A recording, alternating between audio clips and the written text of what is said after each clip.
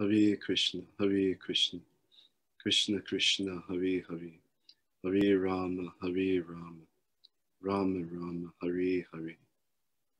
Okay, so um, we are going to be looking at uh, the 64 principles. So yesterday we discussed the journey of the jiva, um, the idea that we need to to really make that proper journey, that proper progress to our ultimate destination. And today we're going to look at how this is done. And again, with a mood of consideration as to how we can take this very uh, lofty teaching, this fully transcendental teaching, and how we can ground it in the reality of our lives. One of the things that many of us would have experienced in 2020 was that we have this disconnect. Sometimes we are individuals who know so much, but sometimes act so poorly. Uh, there's a statement in the Shastra, um, uh, apina pasyati. There are those who see but do not see. Pasyana pina pasyati. And oftentimes that is us. We, we have heard, we, we have a certain understanding, but we've not really understood it enough to really imbibe and to live this in our day to day life. And of course, the understanding is that what we are living, that is actually what we have realized because everything has its symptoms. Okay. So this is this is principle number one by Srila Bhaktisiddhanta Saraswati Thakur his 64 principles. What I will do, I think, today is I'll begin by reading both principles that we're going to discuss together because the two are naturally inter- intertwined. Then we can have some discussion on this point. So this is principle number one. Sri Chaitanya Mahaprabhu's instruction in Shikshashtakam, Param Vijayate Sri Krishna Sankirtanam is the only motto of the Gaudiya Mat. I'll repeat this. Sri Chaitanya Mahaprabhu's instruction in Shikshashtakam, Param Vijayate Sri Krishna Sankirtanam is the only motto of the Gaudiya Mat. And I'll go now to principle number 51. Okay, yes. And I'll just read this because it relates to the same point. Principle number 51. We should never display any kind of aversion towards Sankirtan Yajna, which is the perfect sacrifice, complete with the seven forms of sacrifice. If we have gradually increased, if we have gradually increasing love for that, then everything will be accomplished and we will attain ultimate perfection. Just preach the words of Rupa and Raghunath with enthusiasm and courage, with complete dedication to the followers of Sri Rupa. I'll read this one more time. We should never display any kind of aversion towards Sankirtan Yajna, which is the perfect sacrifice, complete with the seven forms of sacrifice. If we have gradually increasing love for that, then everything will be accomplished and we will attain ultimate perfection. Just preach the words of Rupa and Raghunath with enthusiasm and courage, with complete dedication to the followers of Sri Rupa. So, this idea, Param Vijayate Sri Krishna Sankirtanam, Bhaktisiddhanta Saraswati Thakur and this is the beginning of those 64 principles. He starts here. He says this should be the only motto of the Gaudiya Mat. Now, taking into account that he's speaking here about the 64 principles of community, there's a lot that we can, we can discuss and derive from this statement. Every one of us, every one of us consciously and, and much more unconsciously, we all have a conception of happiness. We all have our own idea of what will truly make us happy. And that idea extends in two different arenas. We have our material idea of what will make us happy. but we also, within the, within the realm of devotional service, we also have our idea of the type or the way of devotional lifestyle that will make us happy. Okay, so in two in two senses, a material conception, but we could also call one a spiritual conception, which relates to how we situate ourselves in devotional service, how we intend to progress in devotional service, and how we tend to interact in the devotional journey. And that journey, in one sense, is a journey that we move into to some extent with a certain level of, of blindness, actually, because the actual progress in spiritual life is a revelation. What is actually happening is that every time we make some step in Krishna consciousness, as there's a very wonderful saying, I think I heard this from um, Sachinanda Maharaj. He says, as you walk the path, the path reveals itself to us. And it truly is like that. It, it truly is like that, that the entire journey, along with guidance, which is essential, along with hearing, hearing our teachings, hearing the holy name, which is essential, along with all of these things, because we're dealing, we're dealing not so much with a journey, we're really dealing with a relationship. And what is that relationship? It is a relationship of Krishna walking us back to his home. So the entire process unfolds and it unfolds according ultimately to consciousness and to grace. As we walk the path, more and more becomes revealed. There was, um, there was a debate I was listening to, and um, it was a religionist. I think he was a Christian, and he was debating, yes, and he was debating an atheist.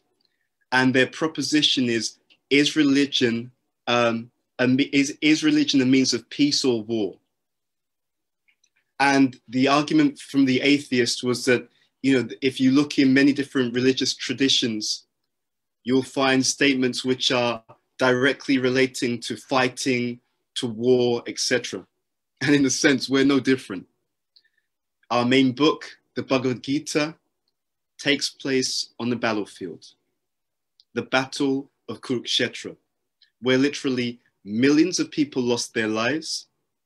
And interestingly enough, the, the key instigator for the war is none other than the Supreme Personality of Godhead Himself, who's telling Arjuna, You see these people on the other side of the battlefield. I want you to kill them. Not only is, he, is Krishna telling him to kill them, he's saying to him, You should kill them. Don't worry, I've already killed them. But I want you to be the instrument through which my will is achieved.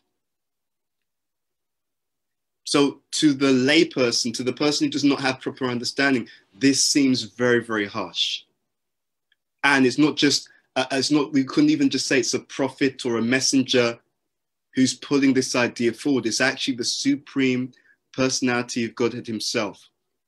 So as these people are arguing back and forwards about is religion a, a catalyst for good in society or a cause of war, I, I had some realization that there was something that was missing from the equation. So one, so the, the Christian was talking about how as you look into the tradition, as you look into the teachings, you know, you can see that people, what people actually take from the scripture practically are things which become an impetus to do good in society. And, yes, maybe historically one or two people or some people have used religion as a means to engage in warfare, but that's that's atypical. And then the other people, the other person, the atheist, will say, no, no, no. If you look at it, you know, um, the rich man he's in his castle, the poor man in his gate, whatever it is, you know, references to different behaviors that we now consider to be um, unfair, unjust. These are directly in our in our literatures, and therefore in in religious literatures, and therefore religion is actually a cause of war and conflict, and we will do better without religion.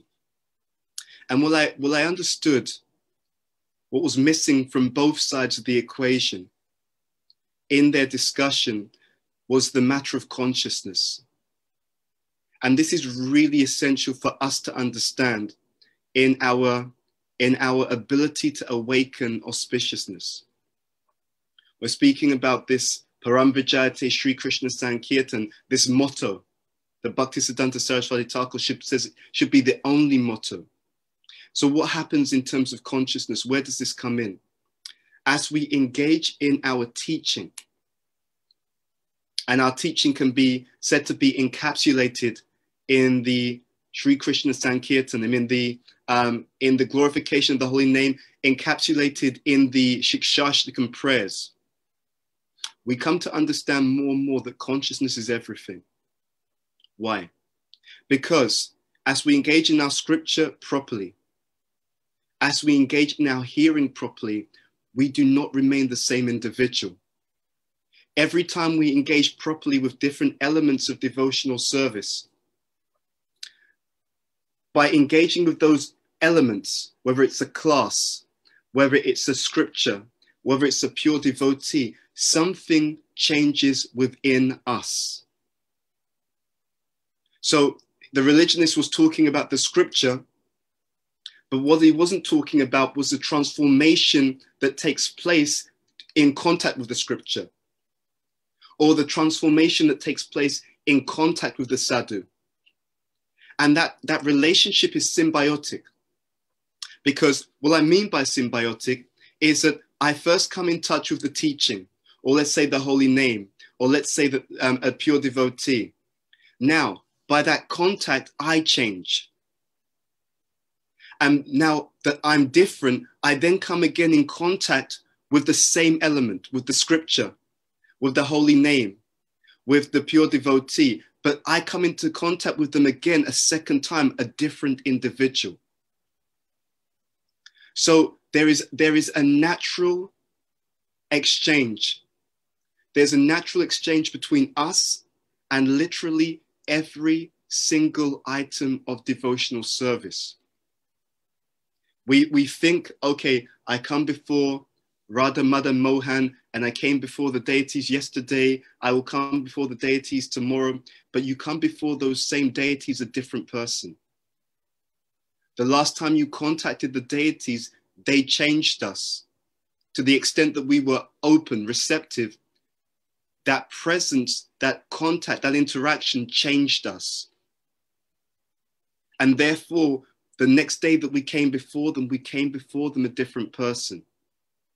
And the relationship was also different. So this is called iterative. Every time I interact with any aspect of devotional service, to the extent that it is done sincerely and receptively, I come before them a different person. And that transformation of consciousness means that the next time I come before them, I see them differently. We've all had this experience. We've all had the experience whereby over time, when we read the same verse, the same purport, the same pastime in the scripture, we come to that pastime, but suddenly we look at it and we see something different. Something that was not apparent that was not perceived by us before.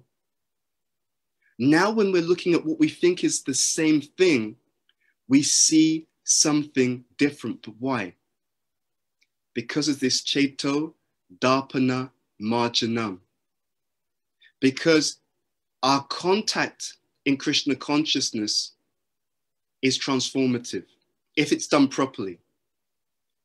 And that transformation of consciousness means that when I come across the landscape of the teachings, certain things are coming forward, certain things are being revealed to me because the literature itself is non different from the Lord. The sadhus are representatives of the Lord, and the holy name is non different from the Lord. So there is a journey. There is a journey from the moment we come to the devotional um, arena or the devotional culture. There is a journey where we are being led by the hand, by the Lord, back to the realm of transcendence in the realm of ecstasy. So I become different. So in any debate about religion versus atheism, what there isn't what there isn't a sufficient understanding of, of is how religion transforms the individual. And if the individual is transformed properly, then what happens? Not only do they see their own tradition properly, they see everything properly. This Cheto, Darpana, Marjanam, the cleansing of the mirror of the mind, allows us to actually see reality. I see everything. I not only see the scripture in its proper in its proper perspective, but I also see myself in my proper perspective. And ultimately, and ultimately, as we purify the consciousness, we will see ourselves and we will see our we will see ourselves distinctly as a pure and specific individual, a specific servant of the servant of the of the Supreme Lord in Vrindavan. So this, this cleansing process, it, it causes us, if it's done properly, to see everything in its proper perspective. And Krishna alludes to this in the Bhagavad Gita. Right? So he says that when, when one comes to the mode of goodness, he says all the gates of the body are illuminated by knowledge. Uh, and Prabhupada in the purport will explain how that blessing allows us to see things in their proper perspective. So it is essential that we engage in the process, but we engage in the process in the proper perspective. Now, what do I mean by perspective? For example, when I go to see a doctor, if I have a health issue, what the doctor will do, they will do a few things. One is that they will diagnose my situation. They will diagnose, okay, this is the situation you're in. This is your state of health. We can say that this is sambandha, okay? The, the, the reality of the situation. They will also implicitly understand what good health looks like. Okay, so that is the goal. Okay, so we know where you are. We know where we want to get you to. We want, we want to get you to this proper state of health. That is the prayojana, the goal. And they will then be able to administer. It's not just the administration of medicine, but it's the administration of medicine applied properly for my situation. Okay. So, because your health is like this, and because good health looks like that, I need you to take this particular prescription and to take this particular prescription, this much, these, these many doses a day, to take it at this time of the day, you know, with water after a meal, whatever it is. So they will then give a particular treatment. That treatment, that is the abhidheya. Okay, so we've understood your situation. You didn't understand your situation, right? I'm ill. I, I all I know is that there's something wrong. I know that there's something wrong. I don't understand exactly what's going on. I need some guidance to diagnose properly what is the situation and what good health looks like. So, along with that journey, that journey where Krishna is bringing us back to the spiritual world, Krishna never comes alone and he does not act alone. So, we're looking for the guidance of those who can perceive more clearly than we can what the situation is. And that is sadhu, that is guru, that is shastra. So when we are looking at the instructions, for example, Bhaktisiddhanta, we understand that they have a different perception to us. And again, we've all seen this to some extent. Because if we've engaged in the process properly over time, because of the Cheto Darpana Marjanam, when we look out into the world, we can see more. We can see things differently. And that perception is priceless because we navigate the world effectively to the degree that we can actually see things clearly and in their proper relationship to other things. Bhaktisiddhanta Saraswati Thakur in this first statement is giving us the first, the first foundation of seeing the world properly. Sri Chaitanya Mahaprabhu's instruction in Shikshashtakam, Param Vijayate Sri Krishna Sankirtanam, is the only motto of the Gaudiya Mat. What does that mean? The only motto.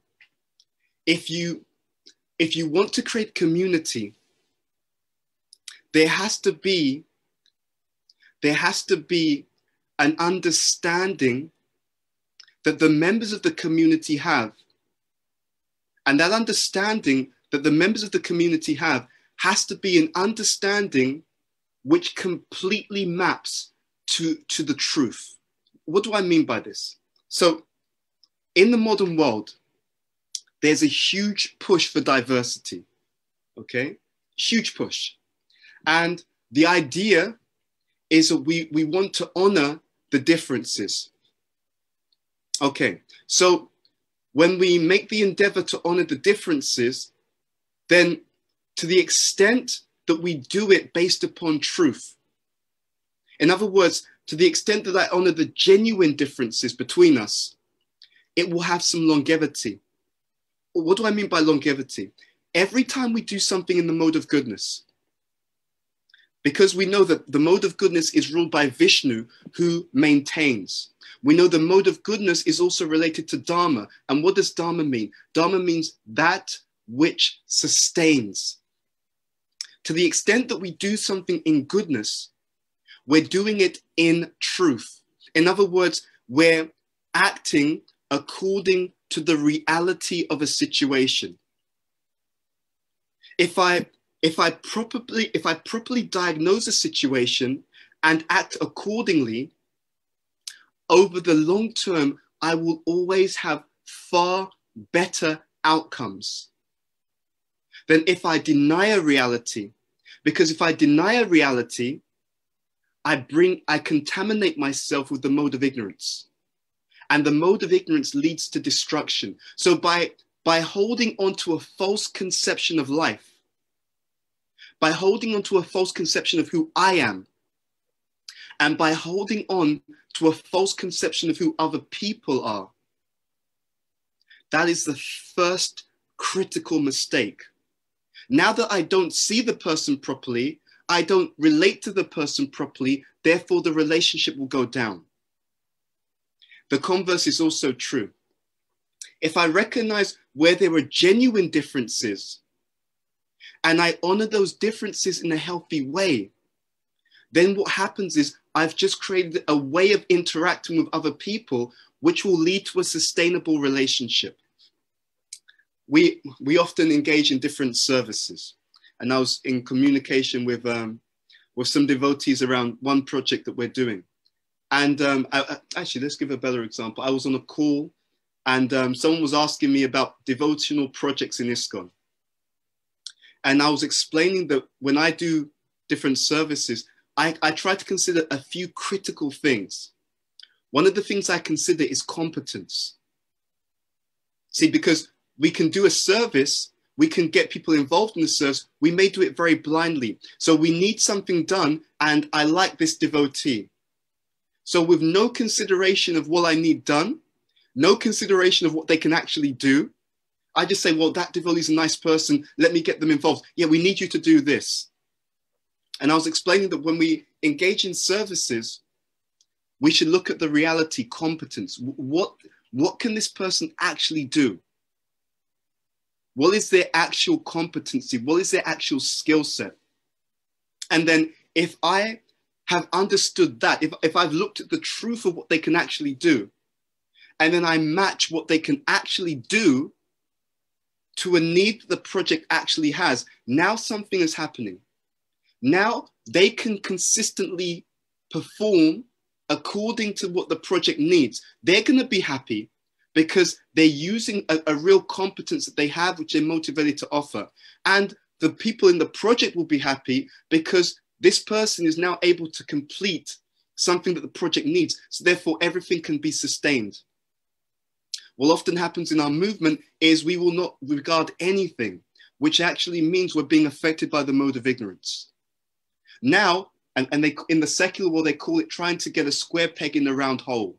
So someone who cannot do that particular job.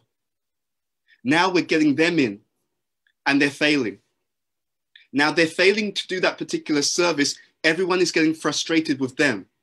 Now they feel that everyone is frustrated with me, but I'm trying so hard. I'm doing my best. Why, why, why don't these devotees just understand how sincere I am?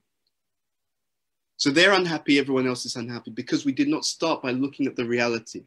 So people have diverse competencies, but it doesn't stop there.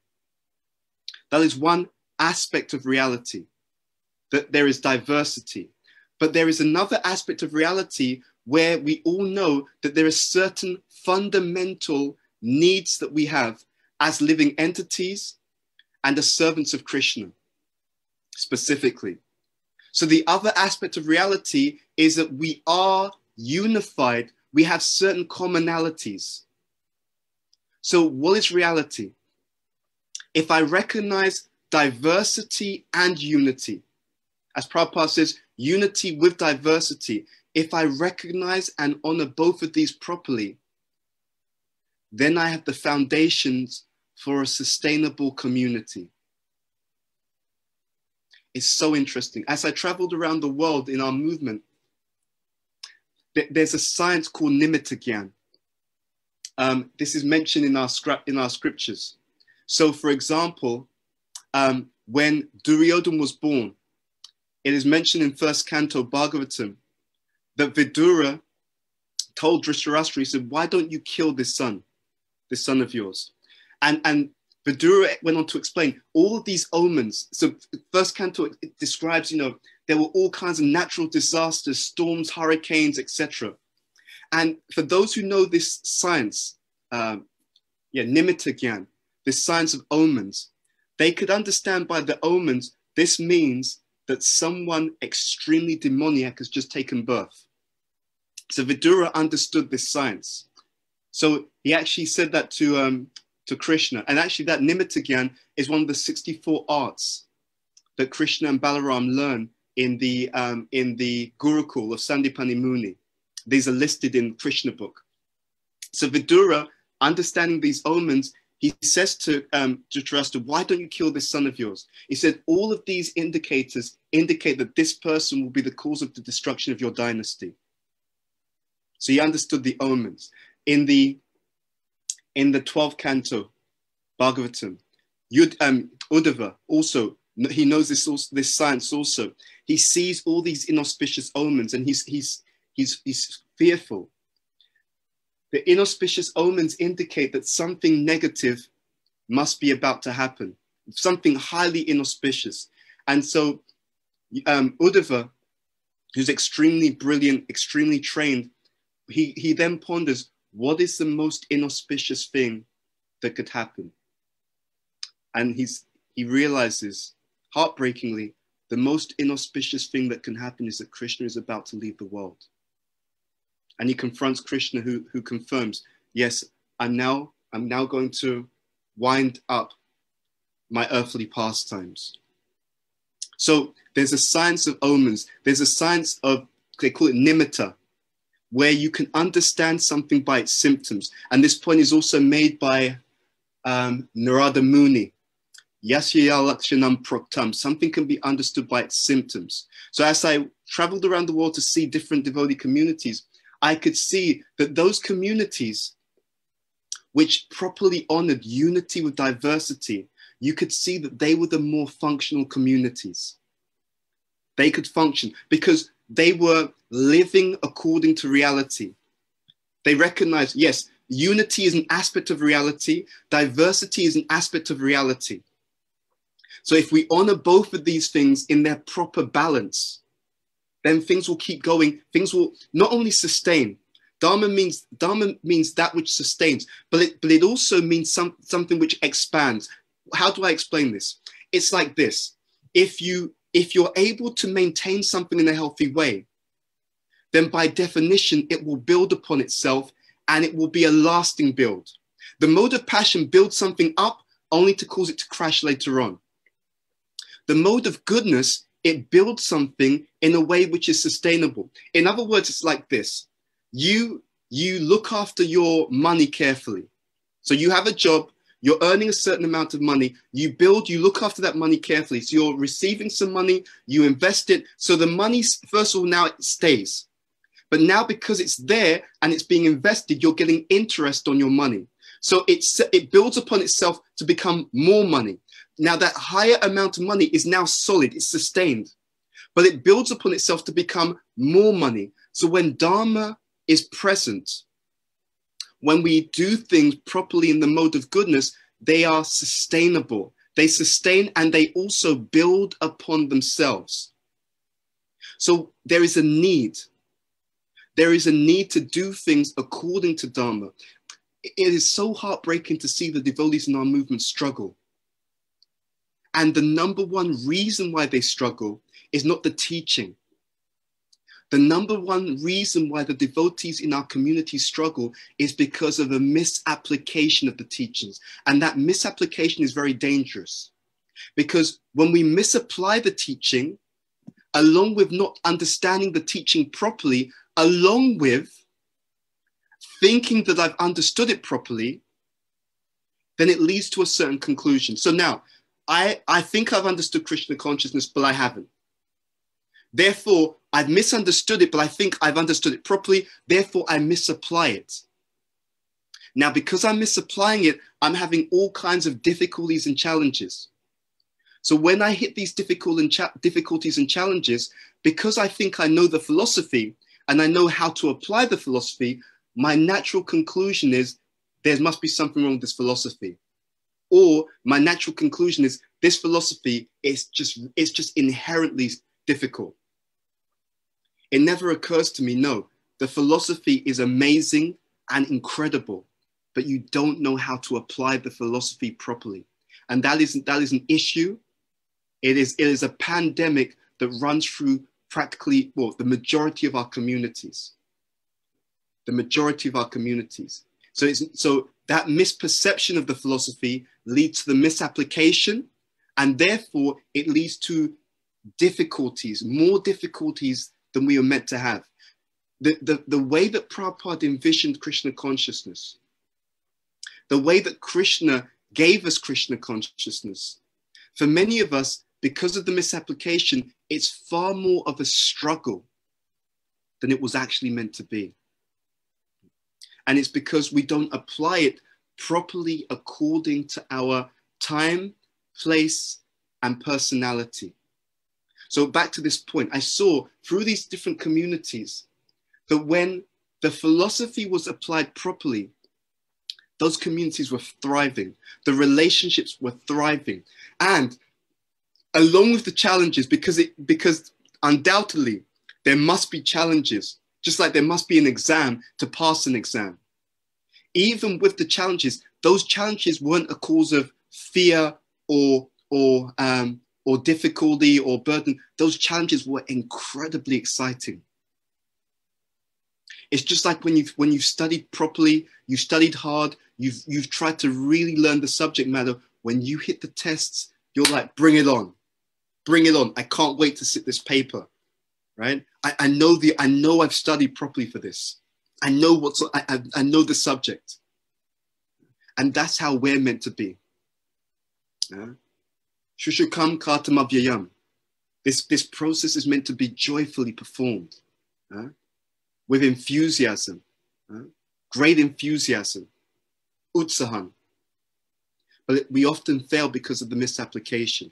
And there's a clue in this statement by Bhaktisiddhanta Saraswati Thakur about how we can apply it differently. So Param Sri Krishna Sankirtanam is the only motto of the Gaudiya Math. That means there must be unity with diversity. The only motto means that shared sense of purpose that everyone can align to. The only motto. We are diverse, so there's diversity. We recognize, we know in our tradition, there's diverse natures, right? We know that there's differences between the Brahmana nature, the Kshatriya nature, the Vaishya nature, the Shudra nature we also know that none of them are better than any other. Every one of them are equally useful, equally good. So we recognize the unity. If I deny that, what happens? I try to make everyone the same as me. And because they're not the same as me, but I try to force them to be like me, it then leads to repression, which then leads to resentment, and then leads to the uh, breakup of the relationships. We see this a lot also in ISKCON. I'm trying to make someone something that they are not, rather than trying to allow them to engage who they are in devotional service to Krishna. So I saw that those communities that actually honored the differences, and let's be very clear honoring the differences doesn't mean it's an excuse for us not rolling up our sleeves and doing whatever is required when it's required. But it means that whenever possible, we should off, we should engage our talents, capabilities, so that we can always grow with enthusiasm. And that enthusiasm isn't a small thing, by the way. There is a subtle thing that happens in our exchanges with one another. As we as we relate to one another properly, the energy and the enthusiasm and the devotion that you carry spills over. When we, when we, when we associate with pure devotees, there is an aura contact even, even if they do not say anything. Just the fact that we are in their presence, the devotion that they carry in their consciousness, which is infusing or surcharging their subtle body. By that association, we are purified by that energy and that association, even if they do not say a single word. So the enthusiasm, the devotion, the learning, the insight, the maturation that we carry in our consciousness is what we are bringing into the environment. And it is, it is the primary thing that we are gifting towards others in association. The gift is consciousness. So, this unity of diversity, a shared sense of purpose, Param Vijayate Sri Krishna Sankirtanam, this, this extraordinary powerful and auspicious statement. All glories to the Sri Krishna Sankirtan. That means we all come together recognizing the diversity, but also honoring the unity. Yes, we are different. We come from different backgrounds. We have different mentalities. But what unites us all is this Sankirtan mission. Sankirtan. Uh, san, that prefix, is, is, is all around that collective engagement, the collective engagement of people and the collective engagement of the material energy. Meaning what? It means that literally all the artifacts in the world, everything belongs to Krishna, and therefore everything is meant to be utilized for Krishna. Every element belongs to Krishna. Every mentality also belongs to Krishna. So when I was giving class in in Mayapur. I think it was it was either last year or this year. Anyway, at the beginning of the year, we were talking about this. How when you have a society which honors everyone's service properly, when, when we do this in our movement, you'll see our movement will explode. We are in a position, if we do this properly, to, to be at least at least 50 to 100 times more successful in spreading the Sankirtan mission, even with less effort. Why and how? It has to do with the proper engagement of unity with diversity. What the devotees pick up, unfortunately, in many of our communities, we say that the Krishna in the Bhagavad Gita talks about this samadarshana, this equal vision. So we say that every living entity is equal in, in Krishna's eyes. What it should mean is also every devotee, every service that one renders is equal. But what we're doing subtly in many cases is we're actually saying that this, uh, this service and therefore this person or these people, they're more important than these other people. And that, that begins to create the issue because we're not and this is this is because we don't see properly, therefore we don't behave properly. Our job is to value all services equally because they all come into this Sankirtan Yajna. So the analogy that's given is like an army. You do have some people on the front line. Okay, but how are they able to function on the front line? They have weapons. Someone else created the weapons. They have they have supplies, they have food, water. Someone else made the food and water and put that together. They have military intelligence. Someone else is collecting that military intelligence. So if we recognize and value everyone's service, what happens? There's studies. So in my in my role, we teach my day-to-day occupation, we teach leadership. And I mean, we quote studies like this all the time. There, there's a study by an organization called Gallup. And they found that in an organization where you just focus on what people are not good at and you try to change them, then the engagement in the organization goes up by 10 to 11%. But they did a, they done this study, they've replicated that, I think, with millions of people around the world, different cultures.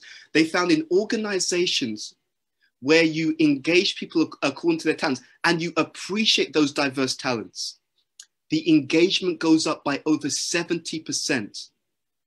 That means that translates to a, a movement of devotees who they're so enthusiastic to do what they can do to spread the mission. Engagement goes up by over 70%. Instead of having devotees who feel unappreciated and therefore back off, in fact, you have everyone feeling tremendously appreciated and they are going above and beyond what they have to do. They're doing extra because they're so incredibly enthusiastic to give and serve. And that is the power of love. That is the power of proper unity with diversity. So if there's just diversity, we, we won't have even a community. We won't have a community. So if in the modern society, if I just talk about how everyone is different and I've got my thing, my group, it won't work. It will be the cause of destruction. It will break things down because that's not the full picture of reality. So it, it what I saw in what I saw in my own life and in the life of other people, this, this idea of Dharma is incredible. Not that it's the ultimate goal. The ultimate goal is Sanatana Dharma. But until we are fully on the transcendental platform, we're meant to use Dharma for Sanatana Dharma. In other words, we stand on Dharma while we engage in the practice of Sanatana Dharma. So, this idea of unity with diversity, I recognize the differences and I recognize the similarities, and we give credence to both.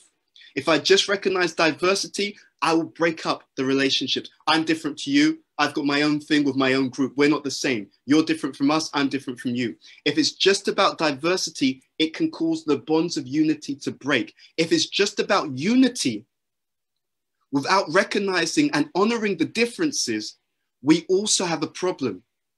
Yeah? What, what happens, again, like you said, when you try to make everyone the same, everyone's the same, there's no differences at all. You should all be good at the same thing. You should all act the same way. You should all think the same way. Then again, because it's out of sync with, with Dharma, it's, like, it's going against the reality. To the extent that we go against the truth, to that extent, we make our life difficult. I, I found this um, wonderful statement in Niti Shastra by Chanakya. Chanakya is just so brilliant. I mean, he says, everything unnatural is an enemy. So simple, so terse, so direct, so concise. Everything unnatural is an enemy. In other words, the more unnatural we are, the more unnaturally we live, the more we create problems in our life. And those problems aren't so obvious. The problems aren't so obvious. They, they, they, because we're going against the mode of goodness, we're going against Dharma, then what happens is you see the results over time. So just like Dharma sustains and builds up over time, Adharma degrades over time. We, we're not so, we're not so, um, we're not so unalert to the mode of ignorance because you could see something sometimes that's completely destructive. Where we fall down is the mode of passion because it looks good in the short term, but it creates the issues in the mid to long term. So we mentioned this yesterday, which I think really sums it up nicely. Hard choices, easy life. Difficult choices, hard life. What does this mean? It maps to the statement by Krishna in the Bhagavad Gita.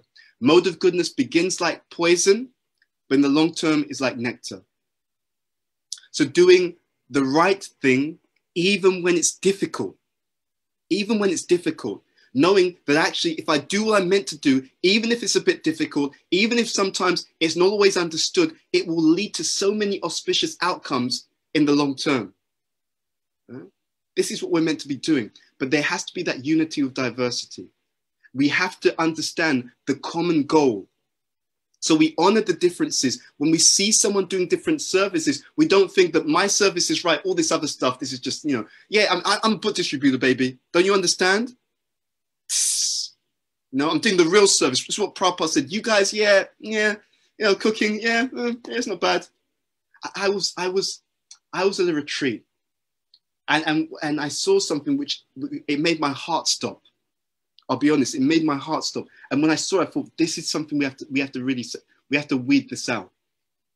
There was a there was a mother, part of our community, and uh, so we were at this retreat, and and she made some statement about how she's just looking after the children. And, and it was like, when I, when I heard the statement, my heart stopped because I realized immediately, no, if she thinks this, if she thinks that, that bringing up the children is some kind of, yeah, it's, you know, it's nice, but it's not really, it's, it's all secondary. If she thinks that her service is less important, then no wonder she's not going to do it, or she will do it. But there'll be so many who'll think, you know what, um, I'm not, I'm not really going to put much energy because after all, it's not really important. And so when I spoke, I, I, I mentioned the point, this is an incredible service. It's, it's an incredible service. And, and, I, and I realized, I thought to myself, okay, so what, what has caused that? What are, what are the overt statements and more, more insidiously, what are the subtle behaviors? They call these um, micro inequities Micro inequities are small behaviors that we may do that kind of put down the importance of something or someone. Yeah, you know, yeah, well, what's your service? Oh, and I'm trying to really bring up the children Christian. Oh, oh, oh, really? Oh, oh, oh interesting. And, and what's what's what's the real service that you're doing? So small behaviors that communicate to, to the other person, your, what you do is not really important. What you do is less important than what I'm doing. And these things are picked up, and over time, they start to erode. They start to erode the culture. And what they do is they, um, they distort our communities. How do they distort the communities? If I don't feel that what this person is doing is valuable, and I communicate that directly and indirectly, and they unfortunately believe, believe me, they start to pick it up unconsciously. Actually, what I'm doing is less valuable. Then they'll put less energy into that service. They will not do it so well. We, we in our communities, we need one another. Because Dharma is not just that it sustains itself, Dharma sustains the, the Dharma of others. If, if, what, if the people who are good at getting resources, if they do their job properly, those resources then become available to the entire society if the people who are good at education, if they do their job properly, their, their teaching, their education empowers everyone else by giving out what everyone else clear vision upon which they can do their service. If the people who are good at leading and managing, if they do their job properly, their expert management and organization makes everything run smoothly for the benefit of everyone else. If the people who are good at assisting do their job properly, then it creates a huge workforce which allows a huge execution.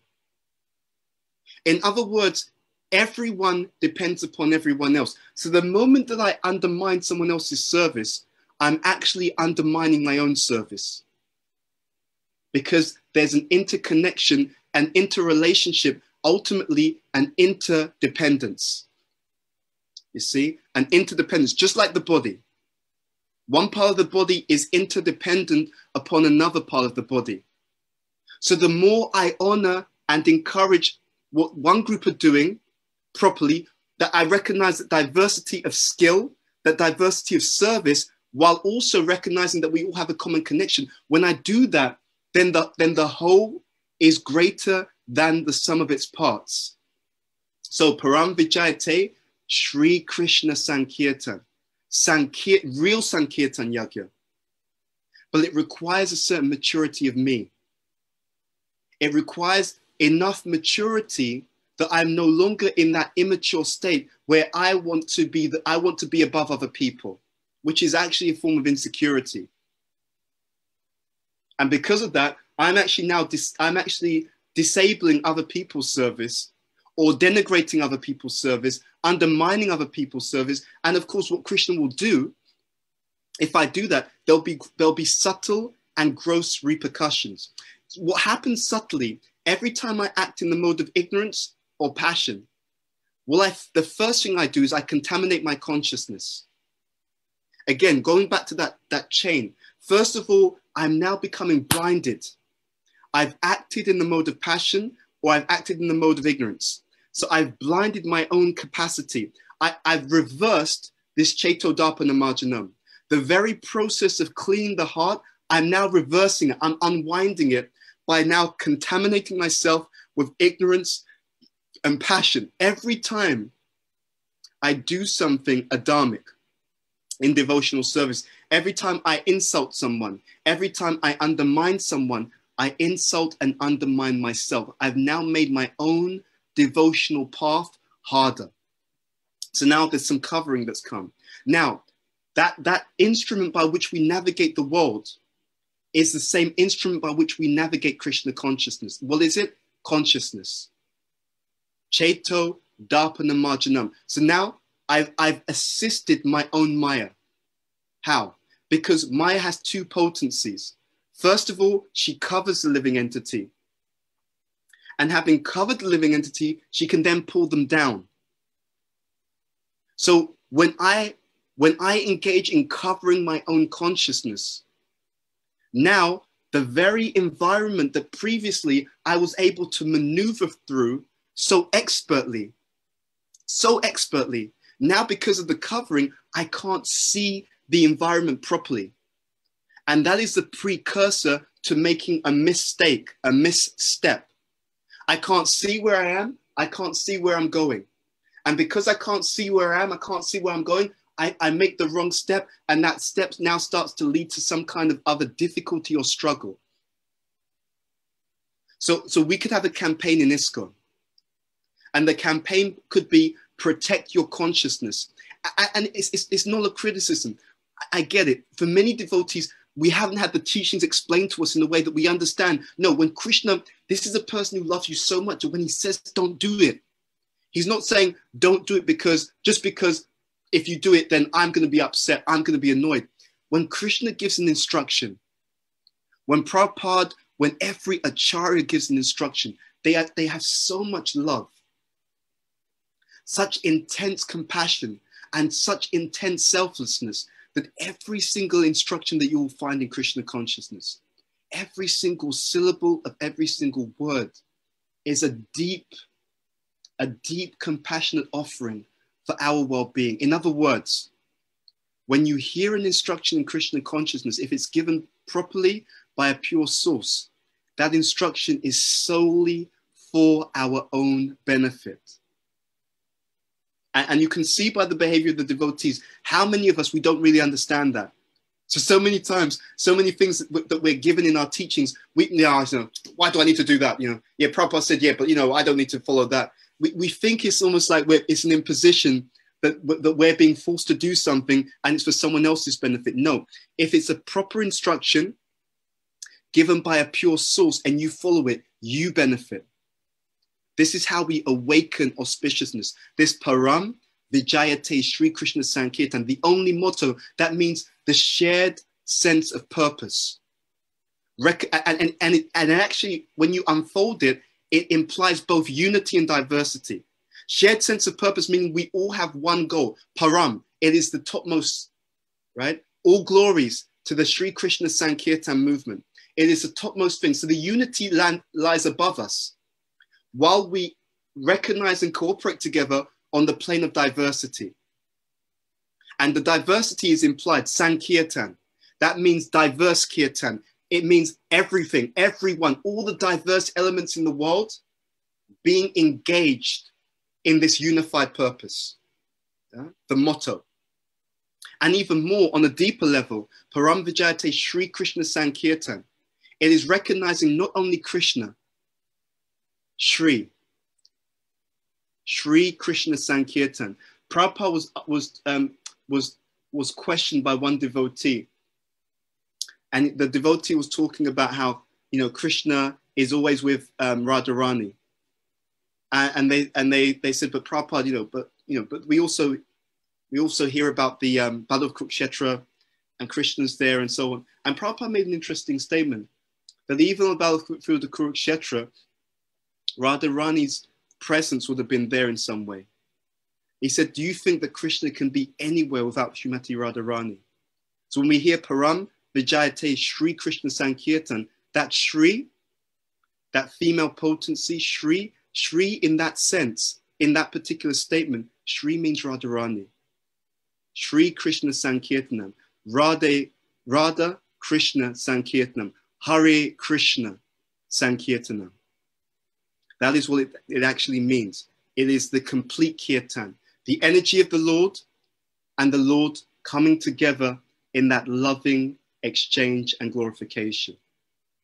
So these are just some considerations about these very, very deep understanding. And I'll just share one more before we go to questions. So it said, All glories to the Sri Krishna Sankirtan. This, this understanding is actually the understanding of true happiness. Everyone, we have this, we said at the beginning, everyone has a map of their idea of what will make me happy. And, and we act upon that consciously or unconsciously. So Paramvijayate Sri Krishna Sankirtan is actually saying that all glories to Krishna, to Sri Sri Radha Shyamasundar. Why? Because in their glorification, their glorification is actually your glorification, is our glorification. Their happiness is actually our happiness. In other words, when we water the root, when we give all glories, all respect, all service to Sri Sri Radha and Krishna, their, their being pleased is actually the fullness of our own satisfaction. So Prabhupada was asked, How do you know that Krishna is pleased? And on a number of occasions, Prabhupada's answer is that you'll know that Krishna is pleased when the spiritual master is pleased. There was, a, there was an occasion where Keshava Bharati Maharaj, he asked the same question to Prabhupada. And he said, so he said, Prabhupada, you know, how, how do you know when Krishna is pleased? And Prabhupada gave a very interesting, a very insightful and very different answer. So he told Keshava Bharati Maharaj, he said, You will know that Krishna is pleased when you're satisfied. It's a very brilliant answer. Mamai Vamso, Jiva Loke, Jiva Bhuta Sanatana. Manashishtani Indriyani, Prakritishtani Kashati. Mama Eva Amsa. Mama means my, Eva means certainly Amsa. Amsa means part and parcel. Krishna is saying in the Bhagavad Gita, everyone, every living entity is part and parcel of me. But he goes on to say that they are kashati, right? Kashati means struggling, struggling very hard. What is the cause of our struggle? Uh, mana, mana means the mind. Shishtani means six.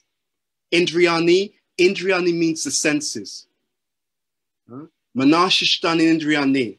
They're struggling very hard with the mind and the senses. So the mind is considered to be the sixth sense. It is the king of all the senses. Therefore, if someone has controlled the mind, they've controlled the senses. Because the mind is the king of all the senses. So these are the struggles. And not only are they the struggles, but they are also the they are also the misconception of happiness. What does that mean? It means in our conditioned state, we think that if I if I gratify my senses, I'll be satisfied. And for the majority of people, life is life becomes a bitter, a bitter experience. For the majority of people, life becomes a heartbreaking, bitter, and resentful experience. Why? To the extent that I think that matter can make me happy, I will become bitter every time I try to engage with matter and find that she will not give me the satisfaction I'm looking for. I try to enjoy in one way, it didn't work out. I tried to enjoy in another way, it didn't work out. In Vedic society, what was meant to happen is as people grew older, you were meant to see that they become happier, more fulfilled, more joyful because of the spiritual path. What you see often is the opposite. As people get older in the material world now, they just become more disappointed, frustrated, bitter, and resentful. And you especially see this in the way sometimes that the elderly deal sometimes with the younger generation. Because as they grew older, their own dreams were broken. Their own, their own, um, their own aspirations for happiness were not fulfilled. And then they're looking at the younger generation, feeling upset that this person has all this time, all this energy, all this joy, all this hope. We need to, we need to stamp that out. So that it goes into this kind of bitter space whereas in the whereas the opposite is meant to happen. As we engage in devotional service properly we're meant to become literally more joyful. Shushukam kartamavyayam and that joy is also meant to spill over into the environment. Our consciousness it deposits itself in the environment. It is a fact. That is why Prabhupada was able to attract people from all different backgrounds. Because it's not just what he said actually it's who he is the biggest and most powerful preaching is who we are, the attainment of, of higher consciousness, spiritual consciousness, Krishna consciousness. If we have that, then wherever we go into the environment, it spills over and it affects people on the most subtle and powerful level. So Prabhupada said to Keshava Bharati, you'll know that Krishna is pleased when you're pleased. This is the true conception of happiness. Because I'm part and parcel of Krishna, when he is pleased, when he is satisfied, I myself will automatically experience a satisfaction that is unparalleled and that, and that cannot be experienced by anything in the material world. Therefore, our only motto, our shared sense of purpose, our unity with diversity, our way of honoring the truth and the goal while appreciating others properly if I don't appreciate other devotees and their service properly, I'm sabotaging the Sankirtan movement. It, it really is that simple. If I don't value the devotees and their service properly, well, I'm actually saying subtly, don't serve Krishna like that. Don't serve Krishna so well. Don't do your service properly. And it's also a way of putting myself in the center. When I say that my service is, is the best, when I say that my service is the greatest, my service is the real service, what I'm actually saying is, I am the supreme personality of Godhead, which is the exact material disease that got us into the material world in the first place. And therefore, as devotees, it is also the, the root anartha which causes all the other anarthas. Why is there envy? Why is there jealousy? Envy and jealousy means that there's two devotees who both think that they're God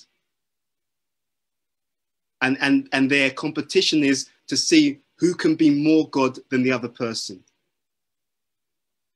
And, and that is not the way of satisfaction. So we sabotage the mission. And when we sabotage the mission, what happens is the grace of Prabhupada, which is unlimited, it starts to shrink, not because of Prabhupada, not because of Prabhupada.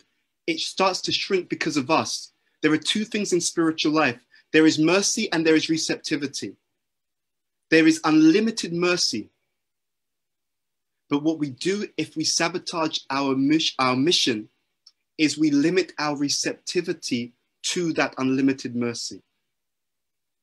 Anyway, these are some considerations on the importance of unity, diversity, and how when we do this, we awaken that true auspiciousness, the auspiciousness of true advancement, the auspiciousness of true ecstasy in spiritual life. You don't need to tell someone when you're happy in spiritual life. You don't need to tell someone. You step into the room, people, anyone who's perceptive, they can pick it up. People can feel it.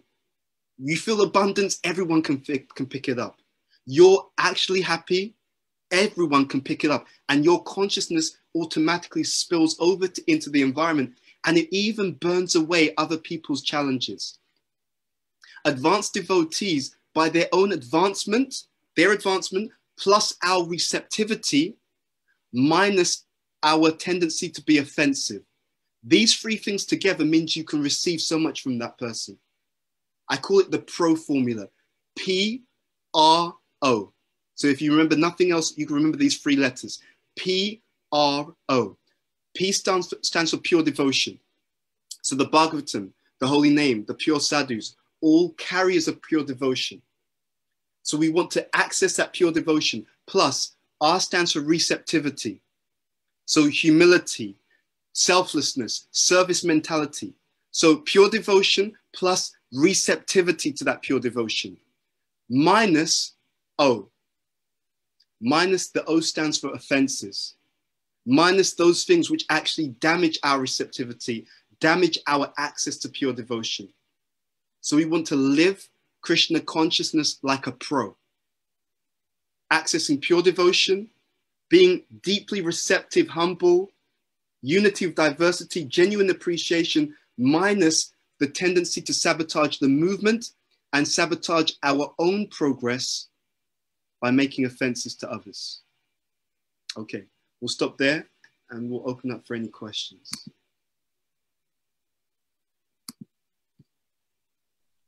Hare Krishna, thank you so much, Prabhu. We have a few questions. I will already read the one of Tushta Krishna Prabhu. Uh, Prabhu writes, Thank you so much for your presentation. You said in the majority of our communities, there is lack of proper understanding and application of Krishna consciousness philosophy. If that is the case, I feel it is important for us to recognize what are the most impactful misunderstandings or misapplication so that they can be addressed. What do you say are they? Okay, you can sum it up in one way. So, yeah, I'll, I'll, I'll explain it like this. So, what, what's happened in our in our movement, and Prabhupada did address this, and I'll explain how he addressed this what's happened in our movement is our aim is transcendence. And, and that is as it should be. That is the goal. That is, that is what we, that is what we, that is the, the very purpose of human life. So we're all hopefully looking up this goal of transcendence. This is what, this is what I want to achieve. This is my aim. Where we have sometimes failed to give proper understanding is to our foundations. If I have if I have a bow and arrow in my hands and I want to aim to hit a target above me, okay? So you can say, okay, what is going to allow me to hit the target effectively? One factor is my steadiness of aim. So it's how expert I am at really taking that bow and arrow, looking at the target, being focused. Absolutely. Very, very crucial. But there is also another factor. The other factor aside from the aim above me, is the quality of my foundation. Is my foundation steady? What am I standing on? Because if I'm standing on a foundation which is very unsteady, then even though I'm, I, I like to think I'm a good archer, I, I'm good at taking focus, even though I'm trying to focus, because my foundation is unsteady, it keeps moving my focus away. So this is the blind spot that many of us have. We're aiming for transcendence, but we don't also stabilize our foundation. It is interesting. There's a, there's a seminar called Prabhupada, our founder Acharya. And it's a seminar given by a Prabhupada disciple called Sureshwara Prabhu. And he's done something very interesting. And, and I, I heard about this through him. Actually, I first heard about this through Sachinanda Maharaj because he had the notes and he mentioned this, this point. Then I also heard about this from my spiritual master. He gave a seminar on varnas, the interdependence of the varnas. And he said something that I never heard before. He, he talked about the same thing that Sureshwara Prabhu explained, but Sureshwara Prabhu explains it in detail. He talked about how Prabhupada made different statements about Varnashram over time. When Prabhupada first came to the West, he explained that this Varnashram, Varnashram could not be instituted in modern society. Now, what happened over time, Prabhupada started to see that the devotees were having trouble really maintaining that kind of strong um, devotional um, advancement. And he saw that what was going on was the, their social situation that that wasn't so so stable it wasn't so established so so from going from a point of view of saying you know we can't um, implement varnashram. Over time he started to give more emphasis to varnashram. And as he was leaving he emphasized the importance of varnashram. Now for varnashram read stable lifestyle. And it's that stability is not the same for everyone. And this is another confusion. Some devotees are more renounced than others. Renunciation doesn't, doesn't necessarily mean that, that it's not that whoever's the most renounced is the most advanced. Don't let's, let's make that very clear. Some people in their previous lives, they were yogis, they were ascetics, therefore they love being, they love being living simply. You know, they I know one devotee, I won't mention their name, but they love simplicity. I mean, if they could, they'd get rid of everything in their house they'd have nothing. They, they just love to be minimal, minimalist. But it's actually because of their previous life. They were they were a renunciate in their previous life. So they, they, they anything that they can get rid of, they will get rid of. In fact, you have to sometimes argue with them. No, we can't throw that out. We want to keep that anyway. So the point is that that conditioning can be there. So for some devotees, because of that very detached nature, they may live a certain way. For other people, they may not have that same level of, of renunciation. Therefore, they may need a bit more facility, but facility just so that they can be stable, have a stable material situation so that they can focus on transcendence. That's the point. And that's that's to encapsulate the misconception is that uh, my material situation has nothing to do with my devotional progress. Not true. Not true. If you're very renounced, then you need less. So you may think, oh, I, I need very, very little. And that may work for that person. But if other people require more facility, for example, because they have a family, then you take the facility you need, but you make sure you use that properly in Krishna consciousness. So the blind side is the social stability. And that social stability, it means, you know, there are some devotees, they, they don't hold down a proper, a proper job. And what's going on is they're disturbed about, you know, whether they're going to pay the bills. There's some devotees that don't look after their health properly. Therefore, they're now their body's falling apart. If you're on a very high stage, Bhaktivinoda Thakur has spoken about this in the Chaitanya Shikshamrita. He says, unless you're a Paramahamsa, good care for the body, good stimulation for the mind, good social situation, and good study of the scripture to see how all these things come together. So, what we do unfortunately, sometimes, is we act above our own level of advancement.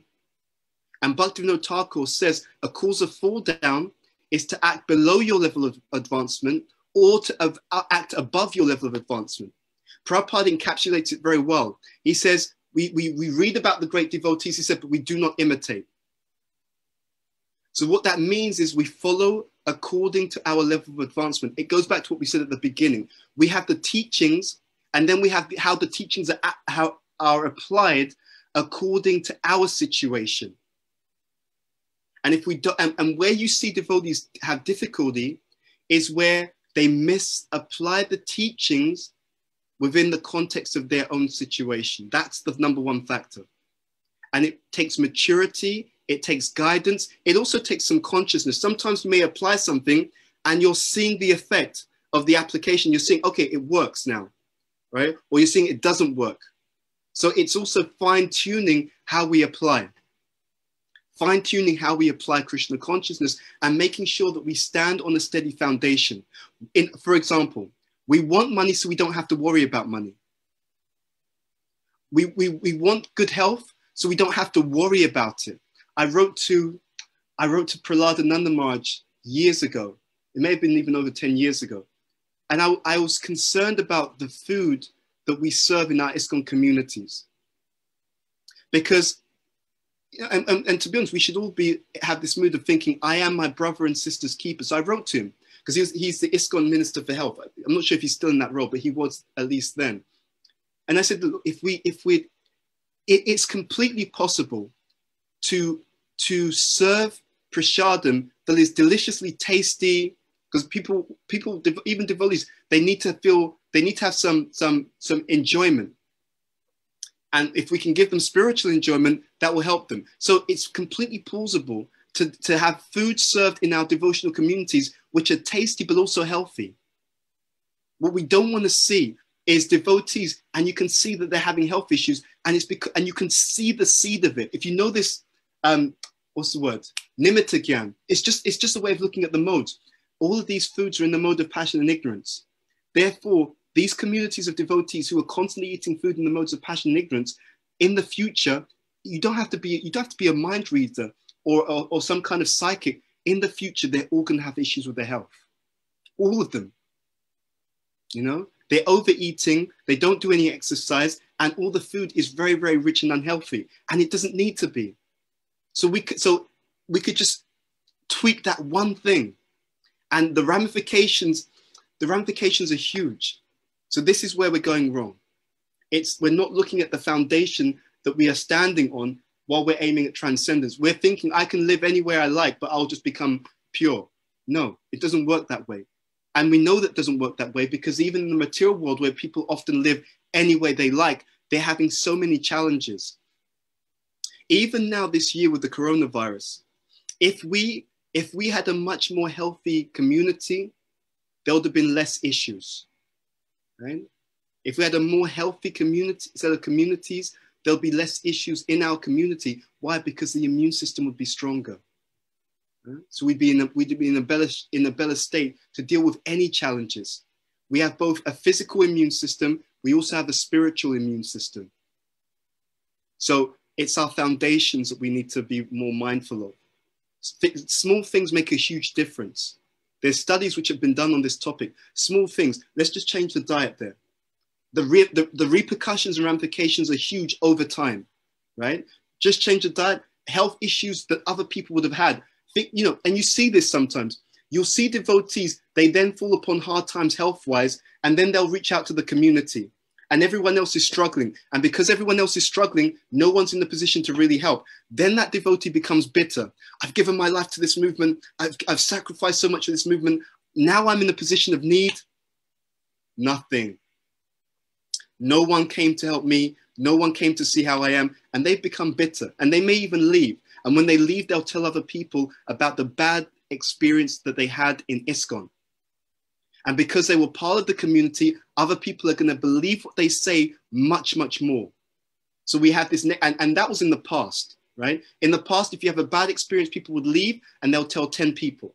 That was in the past. Now we have social media. Now someone's bad experience can go viral. Yeah? So it's our foundations it's the quality of our relationships, it's looking after these things in the mode of goodness, live lifestyle in the mode of goodness so that we can continually focus on transcendence and come to the transcendental platform quickly.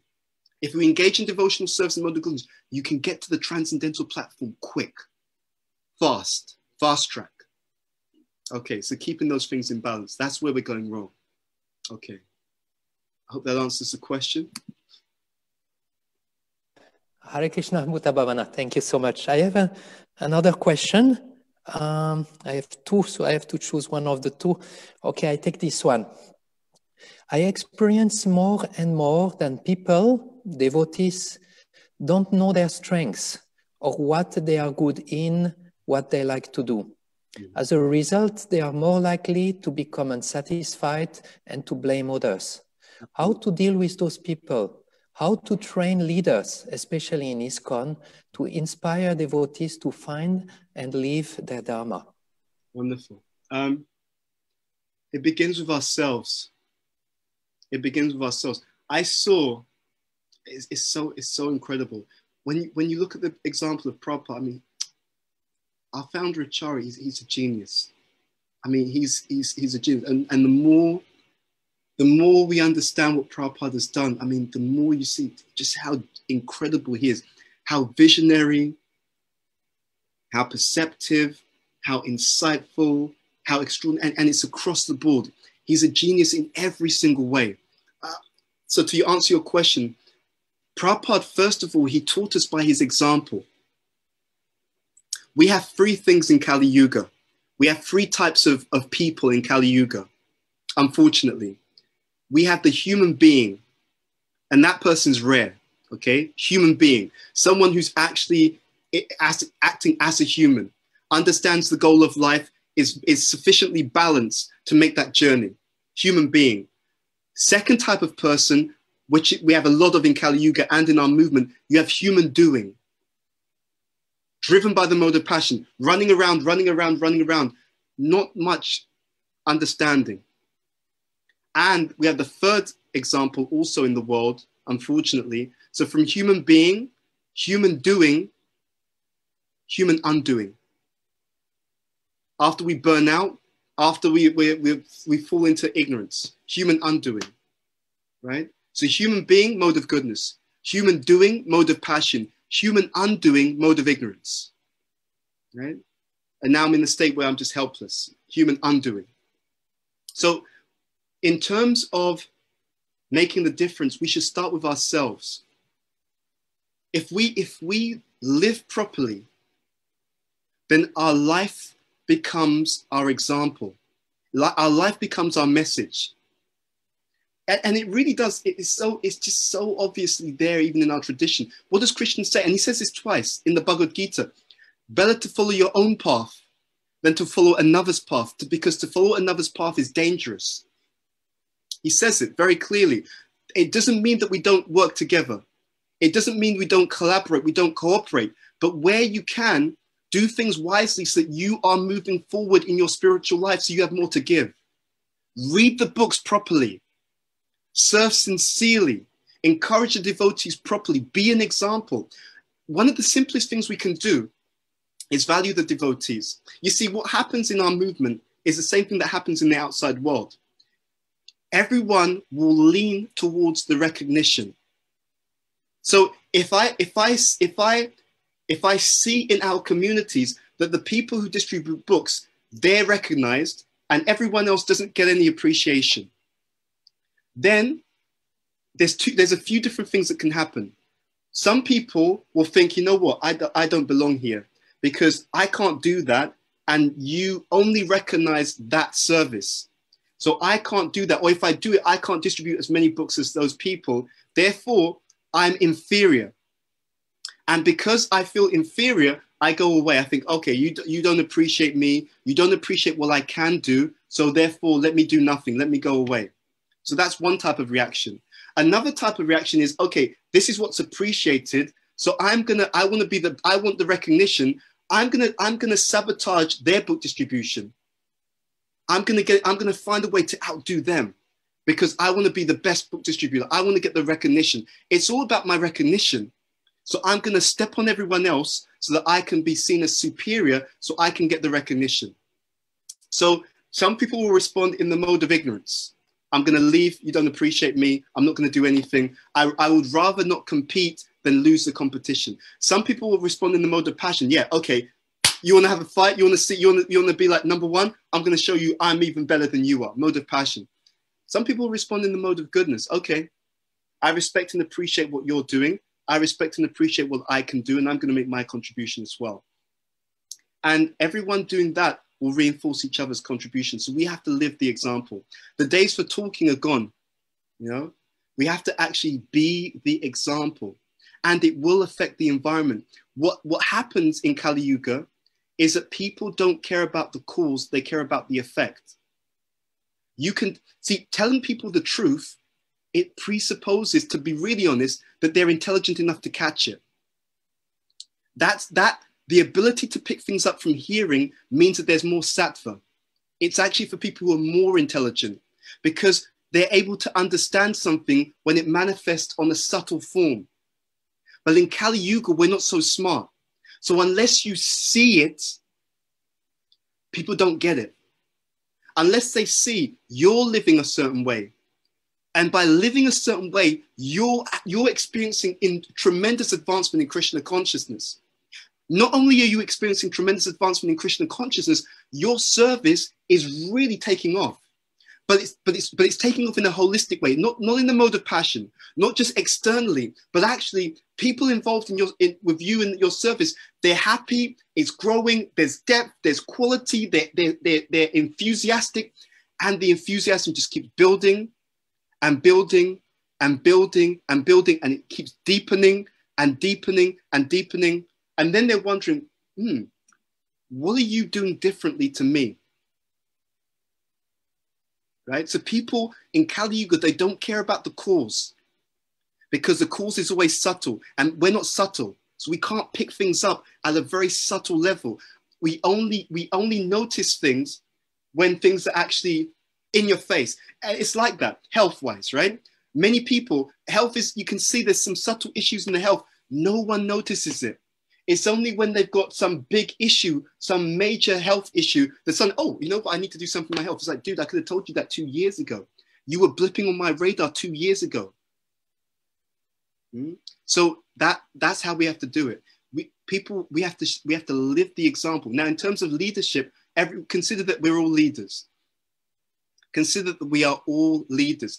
It's a little bit difficult for our leaders in our movement because in many cases, the leaders in our movement, they, they, they don't have the same training. This is the second wave.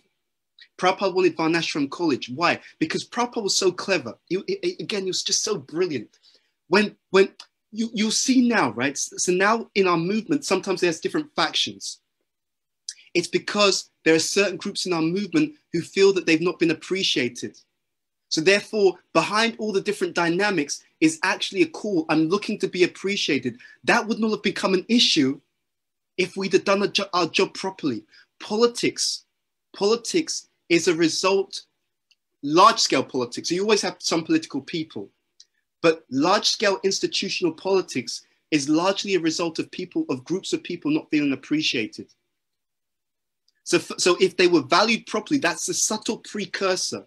If I value everyone properly, then you'll see that there's more harmony. And, and this is explained in, um, in various scriptures. Prabhupada talks about Sarva, um, Sarva Sukhino Bhavantu. The job of the king or the leader is to make sure everyone is happy. If everyone is appreciated and valued for what they'll do, then the whole movement takes off. And, um, and politics goes down. Why does politics go down? Because if, if I'm appreciated and everyone else is appreciated, I'm not trying to do one-upmanship on other people because what I can do is recognize, what they can do is recognize, and we're all family. The day that our movement changes to more of a family model, you'll see Lord Chaitanya's movement, the Sankirtan Yoga will take over in a way that will blow your mind. It will it not only will expand the productivity, but the speed of acceleration of devotees' advancement in Krishna consciousness, which people don't know, they don't notice that. It's not just how much people are doing, there's also an acceleration of advancement. And it's very, it's, perceived, it's perceptible if one knows Nimitta Gyan. You can see, oh, this person's at this stage. Oh, they moved from this stage to this stage pretty quickly. That's really good. They move from this stage. It's, it's, a, it's a darshan. So one can perceive these things by, lash, by lakshana, by symptoms. So not only that there's a movement expand, but the devotees advance faster. But we have to be the example. And then when you're the example, then actually people wonder how come you're how come everyone else is struggling but you're not struggling? What are you doing differently? And then they'll they'll go backwards from the effect to the cause. That's how it actually works. So we have to be the example. So the first wave was Prabhupada gave the direct teachings about the direct practice. So he really established the devotional practices then the second wave was meant to be Varnashram, the training of lifestyle to support the goal. Not, not, not that the lifestyle is the goal, but we are concerned about lifestyle to the extent that it supports the goal of transcendence. As much the lifestyle should be arranged in a way that, excuse me, that, that maximizes our ability to do what? To chant the holy names of Krishna. Hmm? Prop, I, I, I was in Gitanagari in 2005, and my spiritual master was reading the Srimad Bhagavatam. I can't remember which canto it was, but I found it again recently. I believe it was the seventh canto. And there's also a letter to this effect. Prabhupada makes the point that someone who's too poor can't come to Krishna consciousness. And when I first heard it, it shocked me. Like, what, what do you mean? Like, you know, Krishna consciousness is transcendental. It is transcendental. but we may not be transcendentally situated. So the point that was being made is, and Prabhupada actually said this also, that he went to one particular place and the people were so poor, Prabhupada said they, en masse, they won't be able to come to Krishna consciousness. Why? It's analogous to people who are in the hellish realms. In the hellish realms, the suffering is so intense that they can't think of anything else. You know, they're just because they're just trying to survive. It's just, you know, I just want to survive. And, and therefore the headspace for, for transcendence or to even consider something higher is, is, some, is somewhat compromised. When Prabhupada said simple living and high thinking, what he was actually explaining to us is that there's a trade off. You see, the more that you live simply, the more that your mind does not have to dwell on everything around you. The more your mind isn't worried, well, how are we going to pay the bills? You know, are we going to get a divorce? You know, are our children going to, going to leave us? Are we going to be kicked out of our home? The mind, the mind is not so disturbed because it's not just functioning on how am I going to survive this situation? And therefore, because the mind is not so disturbed because we have simple living, things are relatively functional. And therefore, the majority of my mental um, capacity can be used in higher thinking. That is to engage and absorb myself in, the, and especially direct devotion, Nava Anga Bhakti. So, what's happened for many of us, instead of simple living and high thinking, what we do is complex living. Everything is complex, everything is a lot more work. So therefore, I'm having to use my mind to think about how am I going to keep the relationship together? How am I going to make sure the kids are okay? How am I going to make sure that I, we can pay the bills? So it's complex living. Therefore, instead of high thinking, the thinking actually goes down. And we see this in the modern society, a very disturbed society.